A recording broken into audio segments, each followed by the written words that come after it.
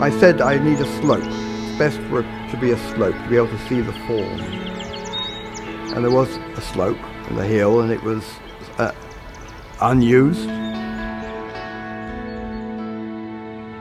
So when there was this big hillside that was a part of the Japanese garden available, and we were thinking about you know how we could best use this in a way that really engaged with the rest of the Japanese garden. David's work in this planting, you know, rose very, very high, at least to my level of consciousness. And in many ways, David's work is sympathetic um, to the process of making and maintaining a Japanese garden because it's about not nature in its raw form, but it's about the manipulation of nature over time.